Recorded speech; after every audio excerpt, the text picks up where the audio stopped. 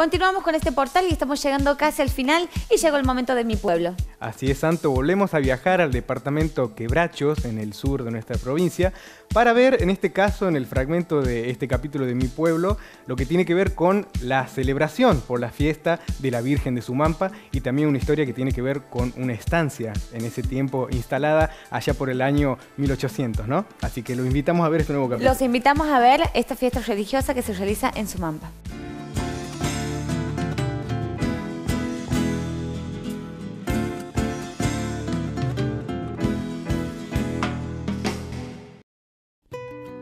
El sur de la provincia de Santiago del Estero alberga decenas de territorios santos.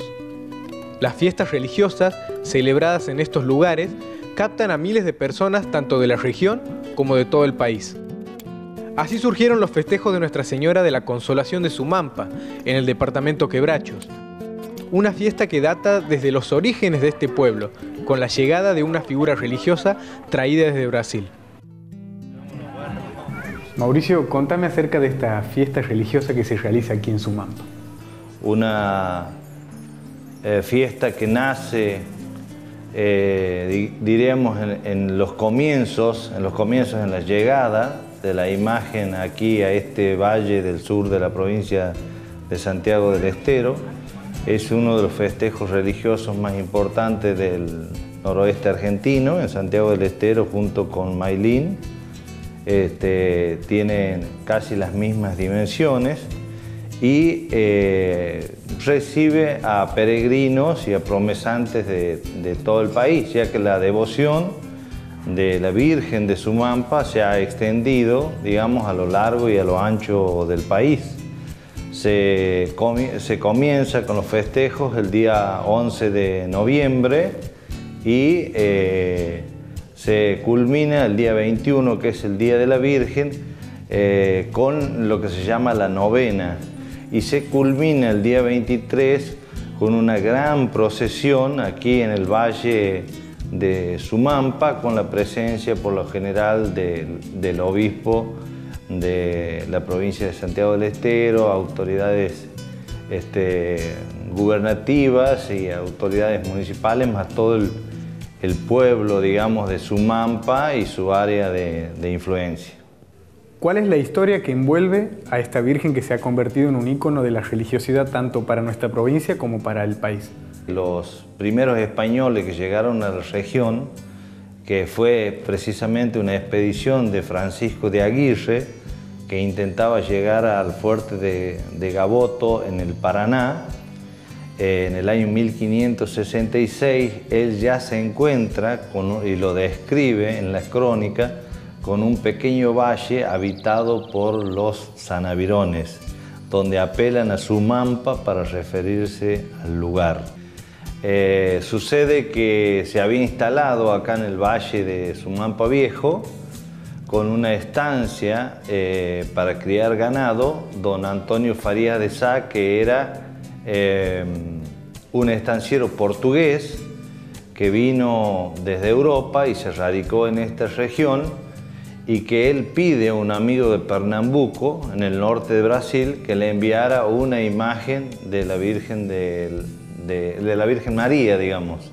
Este amigo le envía por el puerto de Buenos Aires no solo una imagen, sino envía dos imágenes. La imagen de Nuestra Señora de la Consolación de Sumampa llega al casco de la estancia de Don Farías de Sá, es recibida con gran alegría por los eh, indígenas sanavirones que ya se habían hecho al cristianismo y eh, por sacerdotes jesuitas que también colaboraban con don Antonio Farías de Sá aquí en su estancia. Desde ese momento se la coloca en una pequeña ermita mientras se comienza, bajo la dirección de los sacerdotes jesuitas, la eh, construcción del templo que nosotros tenemos, que la cobija hoy a la Virgen, que es uno de los santuarios históricos más antiguos que tiene el país. Eh, la pequeña imagen de barro cocido, porque la Virgen de Sumampa es de barro cocido, es muy diferente, viene del Atlántico, del norte de Brasil, de la región de Bahía, en el norte de Brasil, eh, ya lo dijimos, la ciudad de Pernambuco, es un, tipo de imagen muy diferente a las que vienen de la escuela de Lima, que es de la región del Perú, que son de madera tallada, que son policromadas, que tienen otra fábrica, digamos.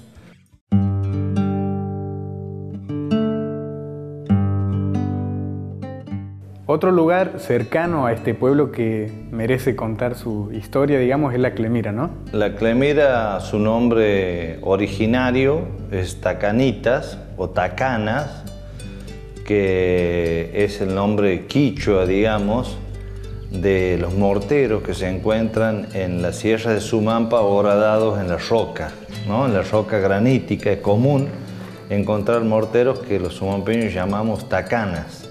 Bueno, en un lugar de Tacanitas se mm, construye en la segunda mitad del siglo XIX sobre el Camino Real la estancia de la Clemira. Vendría a ser una estancia y posta del Camino Real, un lugar casi obligado para parar porque tenía una fuente de, de agua, una gran represa, un pozo de agua cristalina que era muy necesario para para los agotados viajeros del siglo XIX, el pionero de esa estancia se llama Wenceslao López. Era, llegó desde otra provincia, se desconoce desde qué lugar, pero se decide afincar en la zona ya que contrae enlace con una dama de acá, de la zona de Sumampa, llamada Candelaria Escobedo.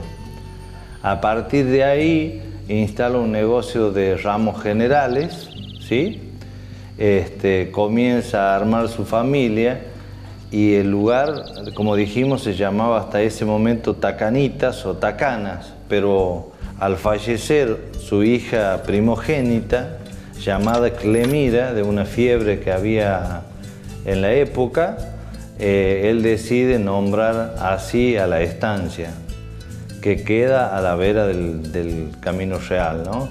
Allí se acopiaban, por ejemplo, todos los frutos de la región, todos los cueros, todo lo que producía la región para ser trasladados en flotas de 30 carros hacia eh, la localidad de Sarmiento, en la provincia de Córdoba, eh, eh, con el que mayor, mayor intercambio comercial tenía tenemos que tener en cuenta que a un kilómetro tenemos el paso del Camino Real, un histórico camino que unía Buenos Aires con Potosí y que fue un camino que durante 300 años o más este, vio pasar el comercio de América, la plata de América, los productos importados que llegaban desde Europa eh, vio llegar la afluencia de esclavos negros que venían del África. Según historiadores, Mariano Moreno, integrante de la primera Junta de Gobierno, estudió Derecho en Chuquisaca, en Sucre, Bolivia. Mariano Moreno transitaba periódicamente por el Camino Real y llegaba hasta el santuario de Sumampa a visitar a la Virgen en cada uno de sus viajes.